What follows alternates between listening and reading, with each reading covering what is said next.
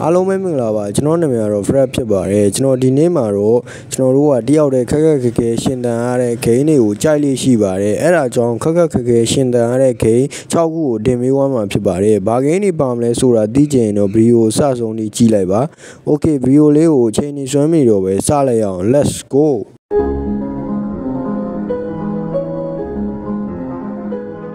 ပထမဆုံးခင်းရတော့ Abada Recording လို့ခေါ်ပါတယ်ဒီခင်းကတော့ hit ဖြစ်နေတယ် Abada movie အတိုင်းပဲကျွန်တော်တို့ကစားရမယ် Abada ကောင်နေနဲ့စောရတဲ့ game တစ်ခုဖြစ်ပါတယ် survival game ဖြစ်တဲ့ညီ open world လည်းဖြစ်တယ်တနက်တွေကလည်းလမ်းစားတွေပါဝင်ပြီးတော့စောရတာတော်တော်လေးကို smooth ဖြစ်ပြီးတော့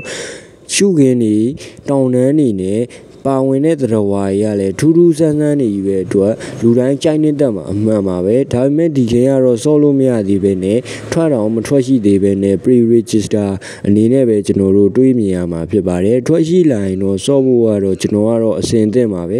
တော်တော်လေးကိုစောလို့ကောင်းလို့ပါ okay နောက်တဲ့ game တစ်ခုကိုတွားကြရအောင်ဒုတိယမြောက် game နံပါတ်ကတော့ Absolute Talent လို့ခေါ်ပါတယ် 350MB ရှိပြီးတော့ offline ကစားရတဲ့ open world survival game တစ်ခုဖြစ်ပါတယ်ဝိုင်းနေတဲ့ကျွန်းတကျွန်းပေါ်မှာကိုကျွန်တော်တို့ကအသက်ရှင်တန်အောင်နေထိုင်ရတဲ့ game တစ်ခုဖြစ်ပါတယ် survival game တွေနီးတူအိမ်ကြီးဆောက်လို့ရပြီးတော့ကိုယ်ပိုင်ကဘာလေးကိုကိုယ်ပိုင်စိတ်ကြိုက်ဖန်တီးလို့ရမှာပဲဖြစ်ပါတယ် 3D graphic နဲ့ graphic ကရန်ကြီးမလန်းမင်ပဲသူ့အနေနဲ့သူဆော့ရတာ smooth ဖြစ်တဲ့ game ကောင်းတစ်ခုဖြစ်တဲ့အတွက်ကြောင့်တင်ပေးထားခြင်းဖြစ်ပါတယ် okay နောက်တဲ့ game တစ်ခုကိုတွားကြရအောင်သုံးခုမြောက် game နာမည်ကတော့ Dash Aslan လို့ခေါ်ပါတယ် 150 MB တဲ့နဲ့ offline ကစားရတဲ့ survival game ကောင်းတစ်ခုဖြစ်ပါတယ်ဒီ game ကတော့တခြား survival game တွေနဲ့မတူဘဲနဲ့ကန်နာရတယ်မှာကစားရမှာဖြစ်ပါတယ်ကမ်းမမြင်လမ်းမမြင်ကန်နာရတယ်မှာကိုကိုကိုအသက်ရှင်နေအောင်ဇွန်ဘီတွေကိုအဲဇွန်ဘီတွေရန်ကောက်ွယ်အောင်ကျွန်တော်တို့ကစားရတဲ့ survival game ကောင်းတစ်ခုဖြစ်ပါတယ်လက်နက်တွေကလည်းအများပြားပါဝင်ပြီးတော့ software စမူးဖြစ်တဲ့ 3D graphic နဲ့ မိုက်တဲ့ game ကောင်းတစ်ခုပေါ့ဗျာအဲ့ထက်ပိုပြီးတော့မပြောတတ်တော့လို့ပါ okay နောက်ထပ် game တစ်ခုကိုတွားကြရအောင် okay survival game နေပြီးပြောနေတော့ဘလို့လဲပြင်းလာမှာတော့အဲ့တော့ကျွန်တော်တို့ကရိုးရိုးရှင်းရှင်းနဲ့ခက်ခက်ခဲခဲဆော်ရတဲ့ game တစ်ခုကိုပြောပြမယ်အဲ့ဒါတော့ Mickey Mouse game ပဲဖြစ်ပါတယ်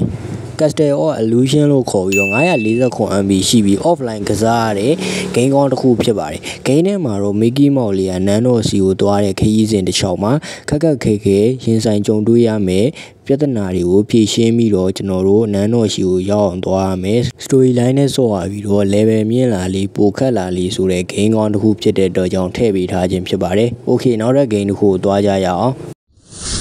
၅ခုမြောက် game နံပါတ်ကတော့ Mr. Me 2လို့ခေါ်ပါတယ် 200MB ရှိပြီးတော့ offline ကစားတဲ့ open world game တစ်ခုဖြစ်ပါတယ်ဒီ game ကတော့ကျွန်တော်တို့ထောင်ထဲမှာဖြစ်ပြီးတော့ Mr. Me ကိုထောင်ထဲကနေလွတ်မြောက်စေဖို့အတွက်သူ့တမီကကူညီရမယ့် game ဖြစ်ပါတယ်ကျွန်တော်တို့ကတော့သူ့တမီနေရာနေကစားပြီးတော့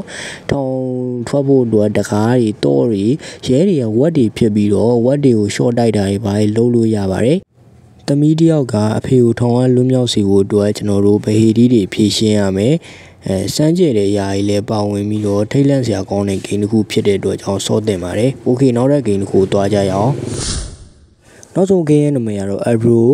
Rain Tail လို့ခေါ်ပါတယ်383 MB ရှိပြီးတော့ offline ကစားရတယ်ခက်ခက်ခဲခဲဂိမ်းတစ်ခုဖြစ်ပါတယ် story line နဲ့ဆော့ရပြီးတော့ကျွန်တော်တို့က